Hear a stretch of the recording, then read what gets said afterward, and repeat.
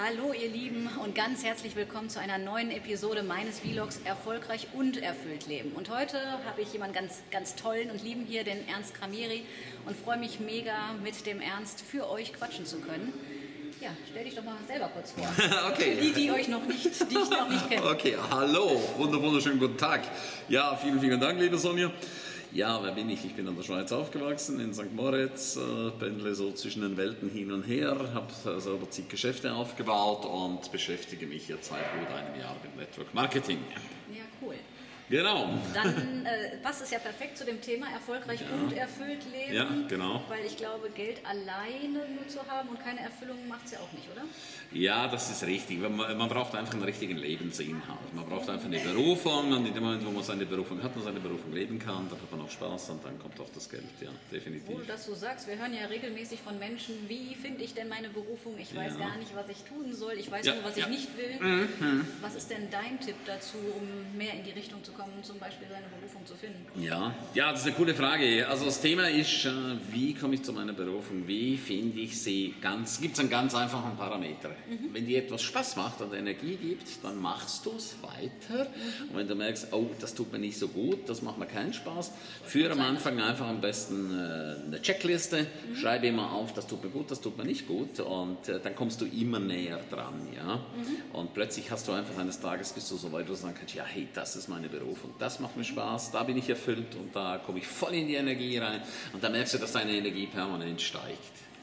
Das ist ein ganz, ganz wichtiger Faktor. Auf jeden Fall. Ich glaube, was ich häufig erlebe oder was mir erzählt wird, ist, dass mhm. Menschen sagen, jetzt habe ich rausgefunden, wo mein ja. Herz Ja zu sagt. Ja, ja, und dann kommen so Glaubenssätze, ja, aber damit kann ich doch kein Geld verdienen.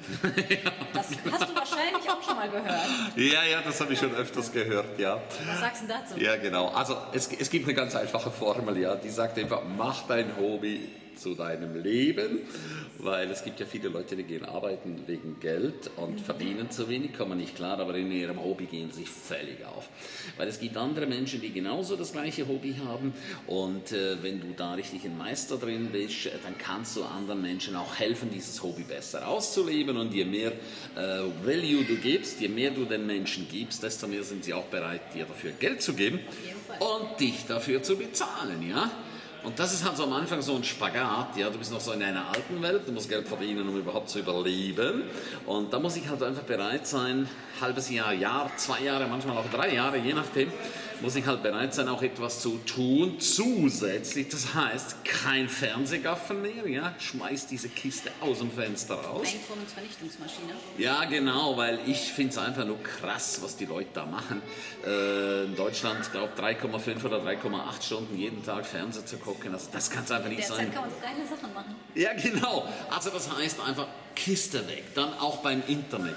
Das ist so die nächste große Suchtgefahr. Nicht stundenlang rumsurfen, sondern wenn du ins Internet gehst, geh immer gezielt rein, genau bewusst und sag, okay, eine Viertelstunde gönne ich mir, da surfe ich rum, aber da komme ich zurück, weil ich bin mir sicher, auch deine Zuschauer kennen das. Du fängst an und plötzlich sind drei, vier Stunden weg. Ergebnis Plop. null, genau, richtig. Okay, das ist sehr, sehr cool. Ähm, aber das Thema nochmal, wenn jetzt jemand sagt, ich habe jetzt was, was weiß ich, ich äh, liebe es im Garten zu wuseln und interessiere ja. mich für Schnecken. Ja. Keine ja. Ahnung, ich das ja, ist egal. Ja. Ist egal. Mhm. Und ich sage ja, man kann aus allem Geld machen, wenn der Mehrwert für andere stimmt. Ja, Aber dieses Mindset hat sich ja noch nicht zu jedem so rübergesprochen, weil ja. aus der alten Welt ja noch eine andere Denke ist. So nach dem. Motto, ein klassischer IHK-Beruf und so nach dem Motto, den muss Kind oder so jetzt ausführen. Wie komme ich denn dahin, dass ich mein Mindset switche, wenn ich noch, ich sag mal, aus der mhm. alten Welt komme und jetzt erst mhm. anfange? Ja, es ist natürlich einfach so, wie überall im Leben, hol dir jemanden, der schon dort ist, wo du bist. Hol dir einfach einen Mentor. Das kann ich einfach nur zig, zig, zig Mal betonen. Wenn du einen Mentor hast, der zeigt dir, wie es geht. Fragst du deine Freunde, fragst du deine Familie, sagen alle, hey, geht's eigentlich noch? Genau hast du keine Chance. Aber in dem Moment, wo du einen Mentor hast und dann mach einfach Modeling of Excellence, das ist so wichtig. Mach genau das, was dein Mentor, Mentor dir sagt. Ja? Und guck bitte, wer dein Mentor ist. Ja? Das kann nicht deine beste Freundin sein, weil sonst hätte die auch schon Erfolg. Es sei ja? denn, ich ergänze mal, dass die beste Freundin genau das schon hat, wo ja. du hin willst. Ne? Also in seltenen Fällen gibt es ja sowas, aber ja. in den meisten Fällen, sage ich mal, sind die Menschen, die einen umgeben, wenn ich mich gerade erst auf den Weg mache, mhm. eher noch welche, die noch nicht ganz da sind. Ne? Ganz genau. Ich sage immer in meinem Seminar Millionärsbewusstsein, wenn ich als Beispiel Millionär werden will, soll ich keinen Hartz-IV-Empfänger fragen. ja, genau. Ja, Ja. ganz hilfreich. Ja, ne? Ach, ja, richtig. Das ist sehr, sehr, sehr guter, guter Input. Also schau einfach, wenn du Millionär werden willst, dass du lauter, lauter Millionären zusammenkommst. Studier deren Leben, frag sie auch, ob sie bereit sind, dein Mentor zu sein. Und noch etwas ganz, ganz Wichtiges. Lies jeden Tag Bücher, hör jeden Tag Hörbücher an. Hör dir genau solche Sachen an, wie hier von Sonja. Es gibt viele, viele andere Sachen. Hören, weiterbilden, weiterbilden, weiterbilden. Weil wenn du eine Veränderung möchtest in deinem Leben, dann musst du auch andere Dinge anders machen. Weil die meisten Menschen sind erstaunt, sie machen nach wie vor immer das Gleiche und sind erstaunt, dass sie nach wie vor die gleichen Ergebnisse haben. Was für ein Schwachsinn. Wenn du andere Ergebnisse haben willst, musst du andere Dinge anders machen. Ja? Ja. Erfolgsorientiert. Und dann kommt es auch auf dich zu. Und ich glaube, vor dem Andersmachen kommt ja auch vielleicht erstmal anders Denken. Ne? Weil aus dem Denken heraus entsteht ja dann die Handlung oder Nichthandlung. Richtig, ja, sehr gut, Ähm, ja. Wie schaffe ich das denn, sage ich mal, weil viele sagen, ja, bei dir ist das ja ganz leicht. Da sage ich, bei mir, ich bin den gleichen Weg gegangen wie andere Ja, Menschen ja, auch. genau, ja, Nur. Klarheit hilft ja, ne? wenn du schon mal weißt, was du Ja, ja, willst und ja, dann ja, fokussiert ja, aufs Ziel. Ja, ja. Ja, das ist halt so schön gesagt. Also ich erlebe es immer wieder, dass die Leute zu mir sagen, boah, du hast ja Glück gehabt, Ernst, boah, du gehst gut, ich möchte auch gern dein Leben haben. Dann sage ich immer, nein, das möchtest du nicht haben. Definitiv nicht. Doch, doch, das hätte ich auch gerne. Sage ich, ich glaube nicht, dass du bereit bist, 20, 30 Jahre lang zu investieren und immer wieder dich in Frage zu stellen, immer wieder einen neuen Weg zu gehen, immer wieder zu scheitern, immer wieder aufzustehen. Ich glaube nicht, dass du das möchtest. Ja? Die Leute sehen immer nur das Endergebnis, ja? Ergebnis, ja. aber sie sehen nicht den Weg dahin und du musst den Weg selber gehen. Ja? Ich glaube, das kann ich auch nur sagen. Ich komme ja 15 Jahre Leistungssport und jeder hat Ja. nur gesehen, oh, höchste Leistungsklasse, erfolgreich, tolle Kleider, immer unterwegs. Ja. Aber was das bedeutet jetzt in meinem Fall, ne? Selbstbräuner einspielen, das Zeug stinkt. Ja. Das Okay. ist Aufwand, du musst die Bettwäsche abziehen, weil Ja, nachher okay, alles okay. Raum geschmiert ist. Okay. Äh, Du siehst nur, da steht nachher, jemand hat den Erfolg auf der Bühne und das ist das, was du sagst. Ne? Ja, du ja. siehst nur das Endergebnis, siehst aber nicht den Preis, den man auch bereit sein muss zu Genau. Ja. zahlen. Also im Zweifelsfall für einen bestimmten Zeitraum auf andere Dinge zu verzichten. Sehr ne? gut. Also Ja. Vielleicht, bei mir war es Familie, ne? Oh, sollen wir heute Abend zusammen essen gehen? Ich kann man mit Essen ja sehr gut ködern. Ja, hätte ich Bock drauf, aber ich stehe gerade drei Stunden noch auf der Fläche, weil am Wochenende Turnier ist. Ja, und morgen? Ja, morgen habe ich Privatstunde. Und Samstag, ja, da ist das Turnier. Sehr. Das heißt, dein Privatleben leidet im Zweifelsfall für einen gewissen Zeitraum, aber dafür hast du in dem Bereich, in meinem Fall war es dann eben der Leistungssport, auch das erreicht, was du erreichen möchtest. Ne? Ja, wunderbar. Also du musst immer einen Preis bezahlen, ja, ganz, ganz wichtig. Wenn du nicht bereit bist, den Preis zu bezahlen, wirst du immer da bleiben, wo du bist. In der Durchschnittlichkeit gefangen, sage ich. Oder? Ja, genau, dann hast du deinen 9-to-5-Job, aber du kommst nie über einen gewissen Level hinaus. Also darum überleg dir einfach ganz, ganz gut, möchtest du Erfolg haben? Ja? Willst du wirklich, wirklich Erfolg haben? Und dann kommt so eine Entscheidung und dann kommt man zu einem ganz, ganz wichtigen Punkt, dann kommt das Durchhaltevermögen. Ja? Durchhaltevermögen, du musst da durchgehen, du musst das aushalten, du musst das echt aushalten. Aushalten, dass alle Leute dir sagen, du spinnst, kein Mensch braucht Das geht doch nicht. Ja, du schaffst es nicht, vergiss das ganz einfach. Was ist, wenn es nicht klappt? Ja, genau. Du brauchst deinen festen, festen Glauben. Ja, Glaube kann Berge versetzen. Ja, genau, hier. Und du musst das verbinden mit deinem Herzen. Jede einzelne Zelle von dir muss in eine hohe Frequenz reinkommen und schwingen. Du musst deine Frequenz oben halten. Du musst also durch, da durchgehen. Ich sage immer durch das Tal der Tränen, Ja. durch die Wüste. Und du siehst keinen Erfolg. Du fällst hin und da kommen die ganzen Leute und sagen, ha, ich habe dir doch gleich gesagt. Du stehst wieder auf, machst weiter, weiter, weiter, weiter, weiter. Und dann, dann, dann kommst Kommt du zu Vermögen. Ja, genau, richtig. Dann kommst du zu Vermögen.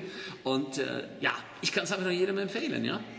Wo wir gerade schon bei Übernachterfolg sind, der dann ganz plötzlich ohne Arbeit kam. Mhm. Ähm, was bedeutet für dich persönlich Erfolg? Deine eigene Definition. Ja, für mich bedeutet Erfolg, mein Leben zu leben. Für dich, für mich bedeutet Erfolg, äh, finanziell frei zu sein, äh, mir keine Gedanken machen zu müssen, äh, kann ich mir das jetzt leisten oder nicht. Für mich bedeutet einfach, dort zu leben, das zu machen, was ich möchte. Einfach absolut keine Zwänge mehr. Das ist für mich einfach absolute Freiheit. Freiheit. Ja, und Ja, das wünsche cool. ich jedem von ganzem, ganzem Herzen. Und das kann, auch, das kann man auch schaffen. Ja.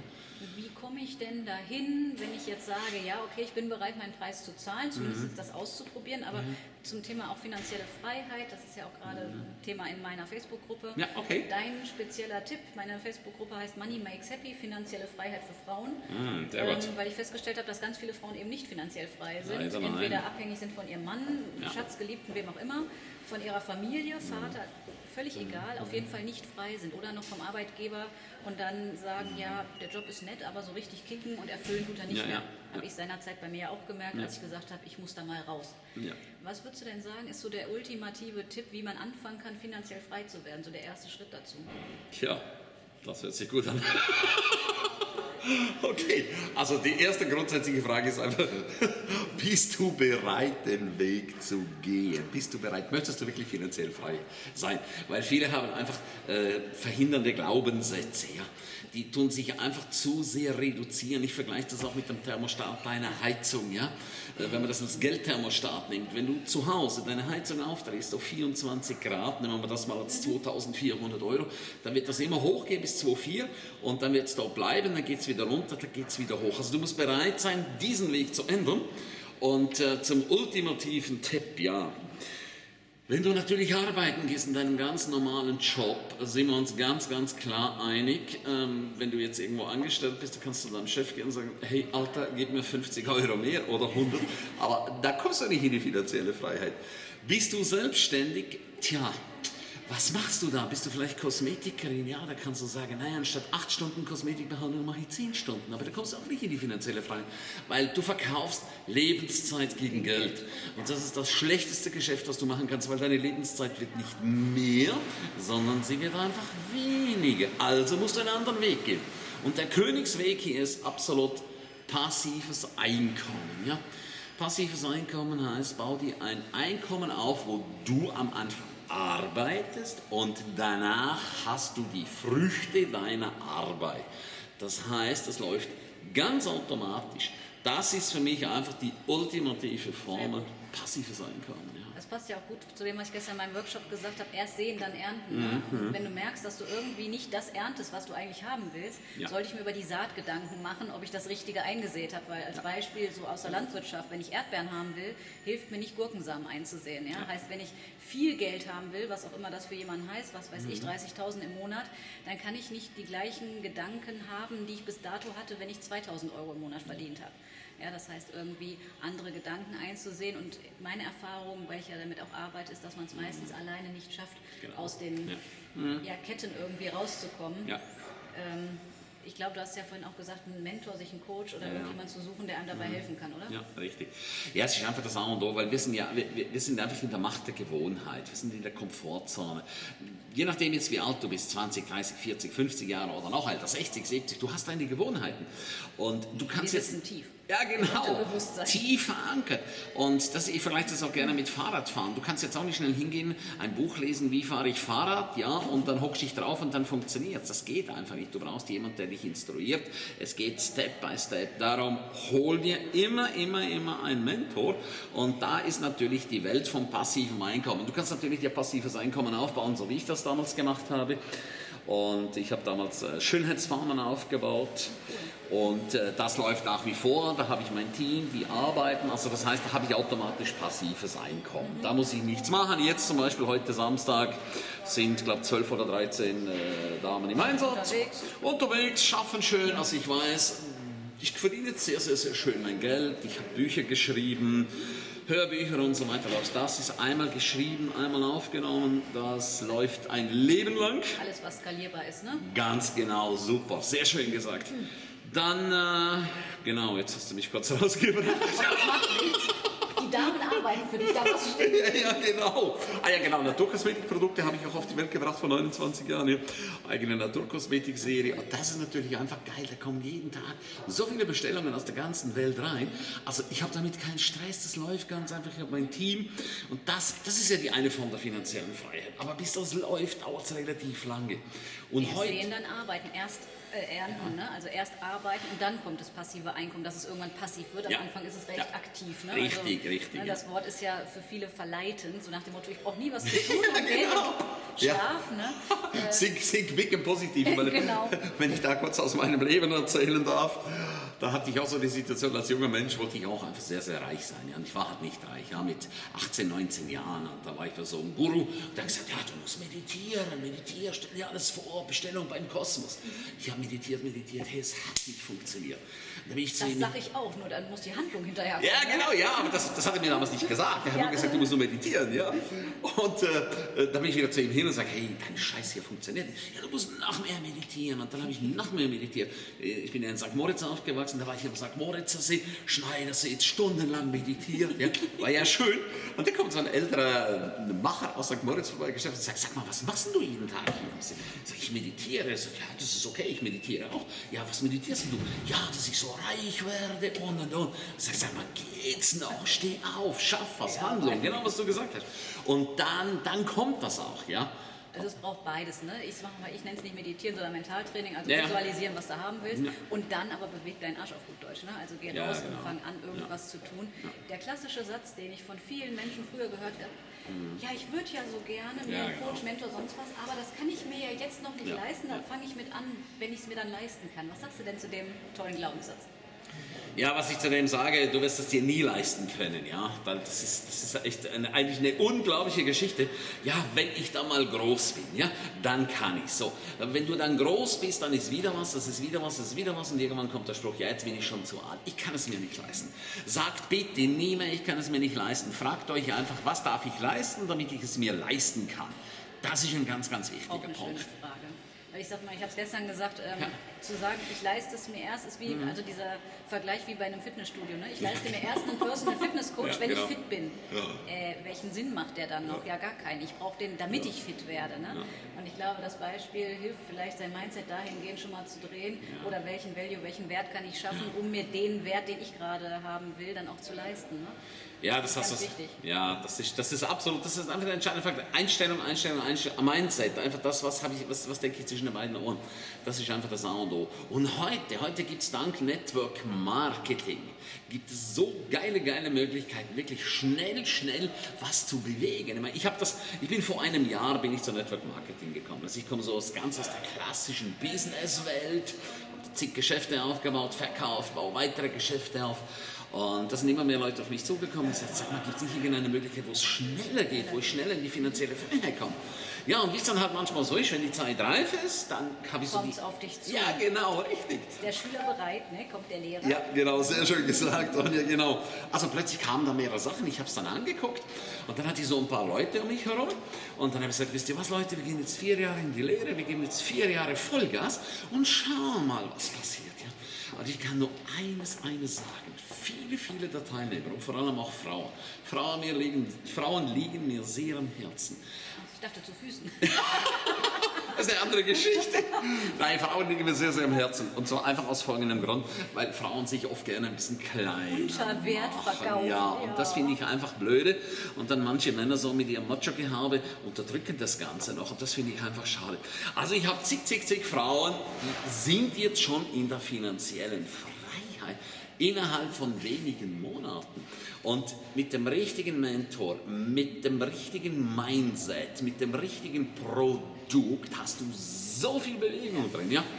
Kleines Beispiel mit dem einen Baby, äh, ich nenne das liebevoll Babys. Ja?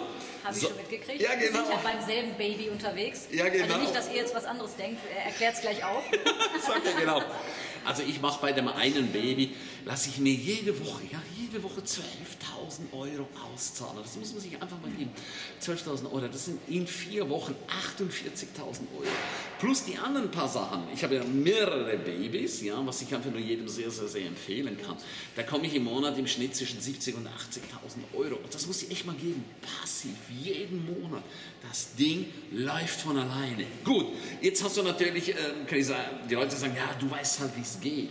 Aber ich zeige das ja jedem, wie es geht. Ich schule jeden. Ich wollte gerade sagen, wir geben unser Wissen ja weiter für genau. den, der das Open ja. Mindset hat und sagt, ich will den Weg gehen und ich will es wissen und nicht gleich schon, ich sag mal, das Haar in der Suppe vorher sucht. Ne? Ja, genau. Ich schüttel mal so lange den Kopf, bis das Haar in der Suppe gelandet Oder ist. Oder reiß ne? eins raus, genau. genau. Jetzt habe ich es gefunden.